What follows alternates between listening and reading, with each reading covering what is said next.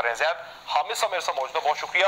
زید صاحب، آپ نے اپنا وقت دیا۔ زید صاحب، یہ حملہ ہوا، مزار کے اوپر ڈسکریٹڈ کیا گیا۔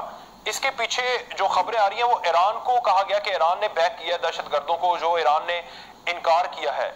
یہ اس وقت جو مسلم امہ کے اندر مسئلہ کیا ہے، ہم سیریا کے جو تمام رائٹس اور وہاں پر سیول وار کی بات کرتے ہیں کہ وہاں پر بیرونی طاقتیں ہیں جو سکون نہیں لینے دیتی۔ لیکن آپ اگر اس طرح کی مینٹلٹی رکھ کر سیریا کے اندر یہ حالات ہوں گے بیرونی طاقتوں سے گلا کیسا سر؟ وقت ایک بات بہت کلیئرلی سمجھ لیں، پوری مسلمان دنیا کو یہ بات سمجھنا چاہیے۔ خاص طور پر اس کرونا کے ڈرامے کے بعد کہ پوری دنیا میں ایک نیا عالمی نظام قائم کیا جا رہا ہے، جس کے بڑے بڑے مقاصد میں یہ بھی ہے کہ اسلام بحثیت ایک دین اس کو ختم کیا جائے۔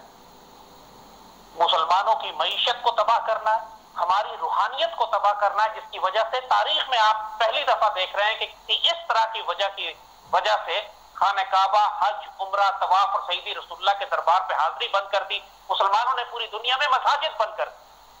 ہماری اجتماعیت، ہماری روحانیت کو اس کی جڑ کاٹنے کی سازش کی گئی۔ اسی طرح ایک بہت بڑی سازش جو بہت عرصے سے یہود و نصارہ کر رہے ہیں ہمارے درمیان، وہ فرقہ وارانہ اختلافات۔ فرقہ وارانہ جنگیں کروانا۔ بد نصیبی سے مسلمانوں میں بھی ایسے دہشت گرد گروہ پیدا ہوتے رہے ہیں جو ان فرقہ وارانہ گروہوں کو استعمال کر کے ایک خوفناک جنگ برپا کی گئی ہے۔ ماضی میں خاص طور پر 1979 کے بعد سے جب ایرانی انقلاب آیا اور اس وقت پہلے ایران عراق جنگ ہوئی، وہ پھر وارانہ جنگ بھی یعنی ایک طرف سارے سعودی عرب اور عرب ممالک تھے اور ایک طرف ایران تھا اور ایرانی شیعہ انقلاب کو جس کو یہ کہتے روکنے کے لیے۔ پھر جب خاص طور پہ صدام حسین کے خلاف جو بغاوت ہوئی عراق میں، وہ بھی شیعہ بغاوت تھی۔ انہوں نے جو اس وقت مہدی ملیشیا بنی، اس نے واقعی انتقام لیا کیونکہ صدام حسین سننی تھا۔ یہ سب جنگیں بھڑکائی گئی مگر بیچ میں جو داعش بنی، جو آئسس بنی، جو کلیم کرتے تھے کہ ہم سنی ہیں، لیکن ہم سنی مسلمان جانتے ہیں کہ یہ خوارج، نہ یہ شیعہ تھے، نہ یہ سنی ہے یہ تیسرا گروہ اسلام کے اندر جن کو کہا جاتا ہے خوارج۔ اور یہی خوارج تھے جنہیں نے اس زمانے میں بھی سیدنا علی کو شہید کیا تھا۔ حضرت معاویہ کے خلاف بھی جنگ کرتے تھے۔ یہ نہ مسل سنی تھے، نہ شیعہ تھے، یہ خوارج۔ اور ان خوارج نے عراق میں، شام میں، آپ جانتے ہیں یہ بات کہ پچھلے تین، چار، پانچ سال میں انہوں نے کئی صحابہ کے مزار اکھاڑے ہیں۔ انہوں نے کئی اولیاء کے مزار اکھاڑے ہیں۔ انہوں نے حتیٰ کہ انبیاء کے مزارات پہ حملہ کیا ہے اور ان کو اکھاڑا ہے۔ تو یہ گروہ بدبخت گروہ وہاں موجود ہیں ان علاقوں میں کہ جو اس قسم کی بھڑکا دینے والے واقعات کر رہے ہیں کہ جس سے مسلمانوں کے اندر شیعہ اور سنی فساد برپا ہو جائے۔ اب یہ ادلب کا جو علاقہ ہے، یہاں پہ داعش نہیں۔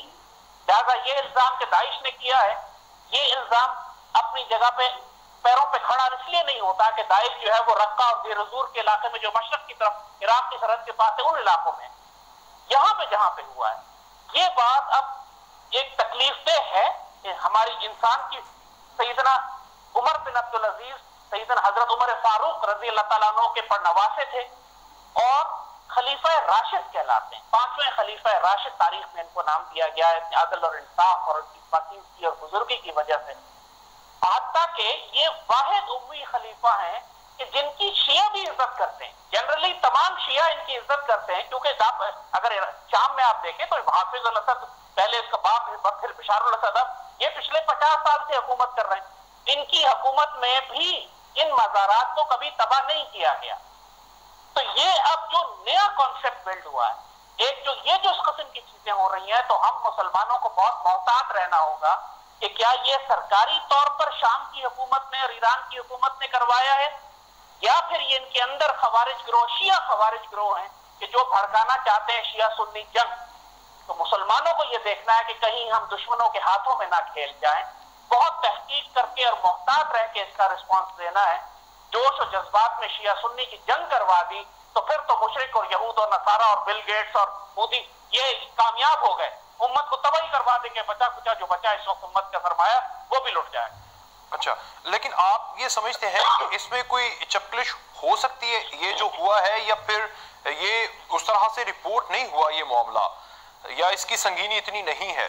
میں اسی لیے کہہ رہا ہوں کہ عرب دنیا کے جو میڈیاز ہیں، ان میں یہ اس طرح رپورٹ نہیں ہو رہا۔ حالانکہ یہ ہونا چاہیے تھا۔ اگر یہ واقعی اتنا سیریس ایشو، پھر جنوری میں بھی یہ واقعہ رپورٹ ہوا ہے۔ اب یہ مئی کے اندر یہ واقعہ رپورٹ ہوا ہے۔ تو میں یہ محتاط رہنے کا اس لیے کہہ رہا ہوں کہ جب تک خود ترکی نے جس نے سب سے پہلے یہ رپورٹ کیا؟ ترکی بھی کہہ رہا ہے کہ اصل واقعات اور کون لوگ ہیں اور کہاں لے کے گئے یہ سارے واقعات کلیئر نہیں ہیں۔ جی۔